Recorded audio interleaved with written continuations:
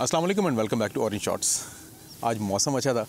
तो मैंने कहा बाहर बैठ के वीडियो बनाते हैं। अगर हम दुनिया के प्रोफेशंस का मुताल करें if you study all the professions तो आई थिंक एक प्रोफेशन जो कि काफ़ी बैकडेट करता है और काफ़ी पुराने ज़माने तक जाता है I think that is going to be merchant navy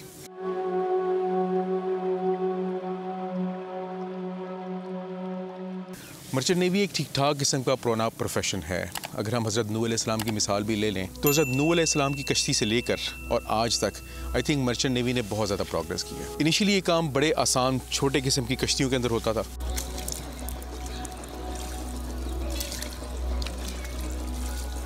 पहले दरियाओं से तजारत की जाती थी। अगर आपने पिरामिड्स ऑफ़ इजिप्ट का मुताला किया हो और उनको देखा हो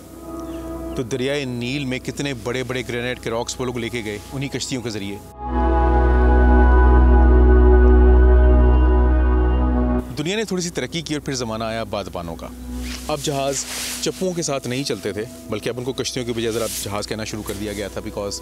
they're a little bigger now तो अब उनको इस चीज़ की ज़रूरत तो नहीं थी कि उनको चप्पुओं के सहारे चलाया जाए, लेकिन अब बादबानों का सहारा लिया जाता था। हवाओं का सहारा लिया जाता था। और हवाओं के बल पर जहाज़ एक मुल्क से दूसरे मुल्क, एक टेरिटरी से दूसरी टेरिटरी में जाते थे।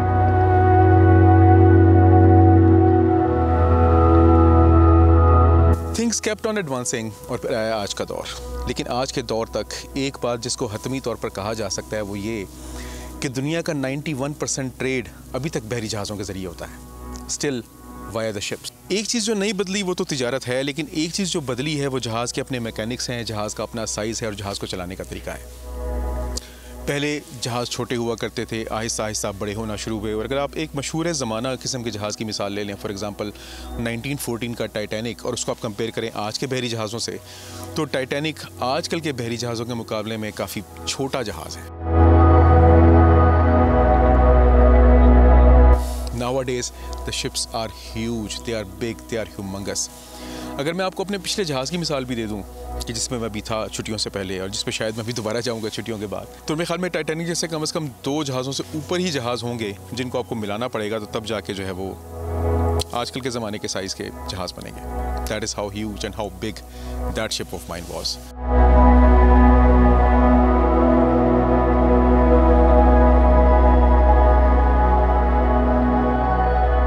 तमाम तब्दीली के साथ एक और जो बड़ी इंपॉर्टेंट किस्म की तब्दीली आई that came in the in the propulsion section अब जहाज़ हवाओं के ज़रिए नहीं चलाए जाते। अब सिर्फ़ रिक्रिएशनल बोट्स होती हैं, जो कि हमें दुनिया के मुख्तलिफ़ एरियाज़ में देखने को मिलती हैं। ऑस्ट्रेलिया में मैंने देखी हैं यूरोप में देखी हैं अमेरिका के पास मैंने देखी हैं कि जिन पे आप बादबान लगा के और अभी भी जहाज़ों को सेल्स लगा के, जिनको इंग्लिश में सेल्स कहा जाता है, और आप चलाते हैं।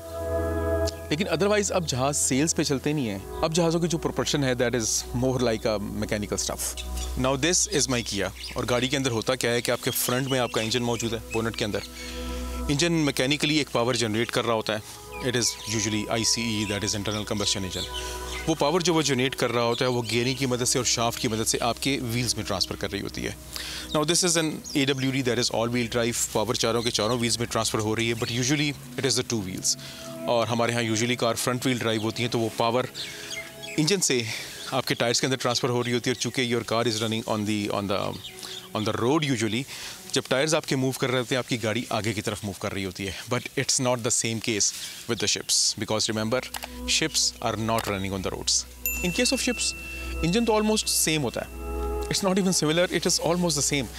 लेकिन प्रोपल्शन सिस्टम जो है ना, जहाज़ का, वो थोड़ा सा ज़रा डिफरेंट होता है, क्योंकि जहाज़ ऑब्वियसली रोड पे नहीं है। तो उसके जहरी बात है टायर नहीं है।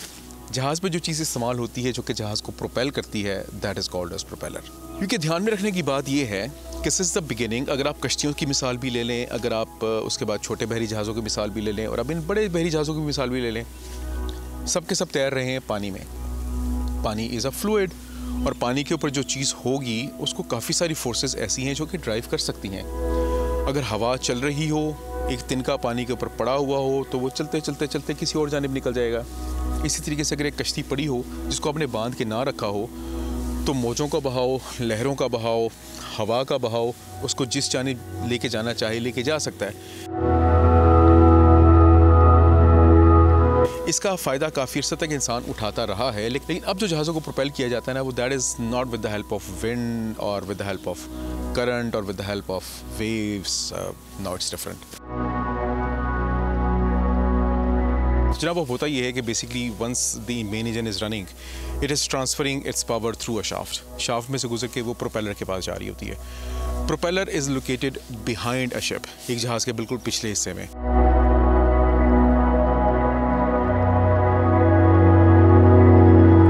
Because that seems to be a more logical place जहाँ से आपने जहाज़ को पुश करना है।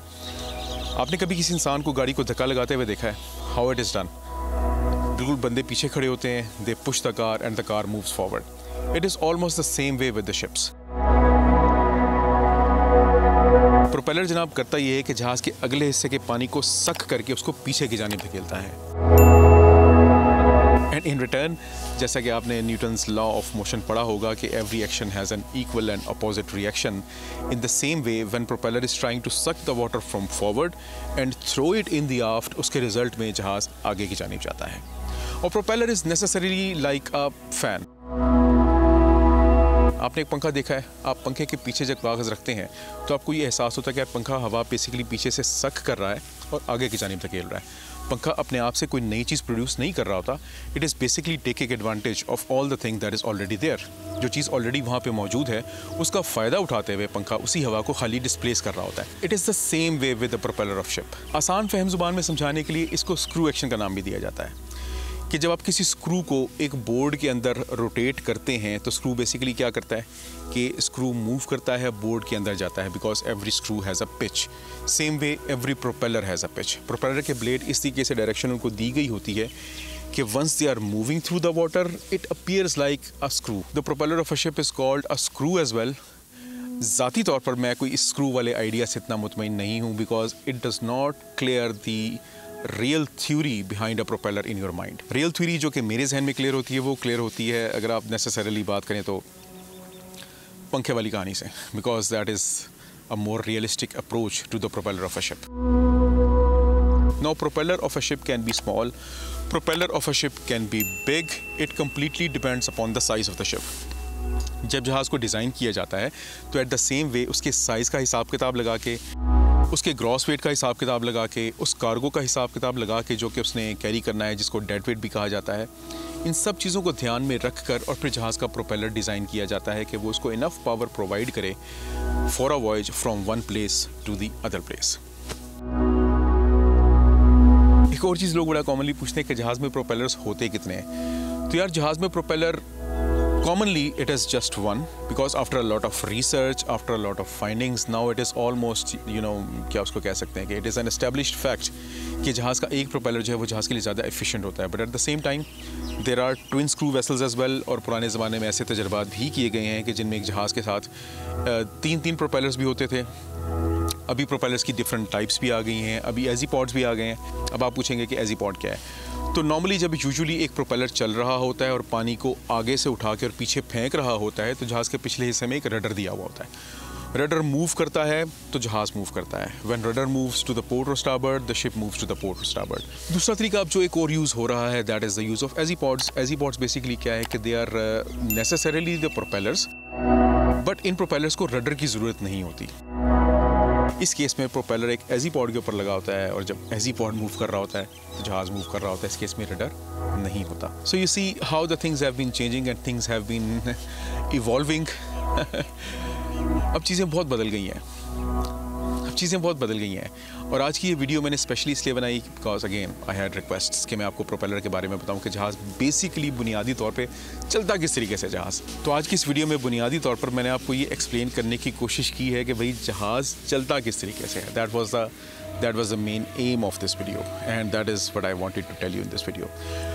तो अगर आपको आज की वीडियो पसंद आई हो, अच्छी लगी हो, इस वीडियो ने आपको किसी भी तरीके से कोई भी इन्फॉर्मेशन प्रोवाइड की हो आपको उसमें कोई भी इंटरेस्टिंग चीज़ लगी हो तो लाइक करना मत भूलिएगा शेयर करना मत भूलिएगा और सब्सक्राइब करना मत भूलिएगा। अपना ढेर सारा ख्याल रखिएगा तो हमें याद रखिएगा with tons of love to my orange shorts family and to be orange shorts family this is me Zahid Nisar आप लोग देख रहे हैं ऑरेंज शॉर्ट्स अगली वीडियो तक। अल्लाह हाफिज़।